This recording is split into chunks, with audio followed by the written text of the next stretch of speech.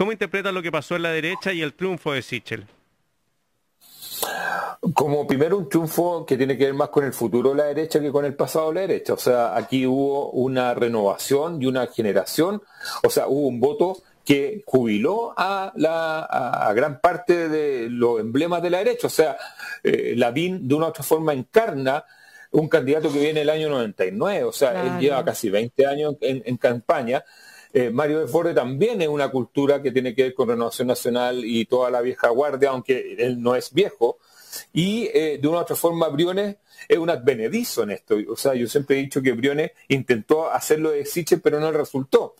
Y, y Sichel es una persona que de una u otra forma habla y habló de temas, eh, no, no, tocó los tradicionales temas de, mm. De, la derecha, del millón de empleos, de las cárceles, de la puerta giratoria, sino que habló de impuestos verdes, habló de, eh, matrimonio igualitario. habló matrimonio igualitario, es decir, tenía una agenda progre, entre comillas, que tiene que ver mucho más con los tiempos que estamos viviendo. Y de emprendimiento, que es tan también propio de este momento en Chile. Exactamente. Claro. Entonces, no es que Sichel haya ganado por buena onda, sino que ganó porque entendió que estamos en una coyuntura de cambios y él ofreció cambios y el resto, eh, se, o sea, lo de Joaquín Lavín a mí me, llamó la atención porque al, igual que Jaue, pescaron y se endurecieron en las últimas dos semanas que no tenían ninguna explicación.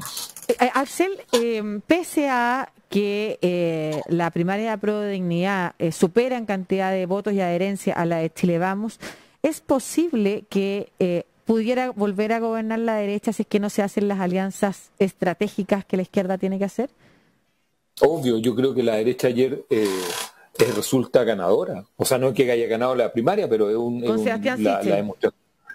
O sea, con la demostración de fuerza del volumen que llevó, eh, llevó más gente que el 2013 eh, y llevó un público parecido a lo que llevó el 2017 cuando era primera opción con Sebastián Piñera.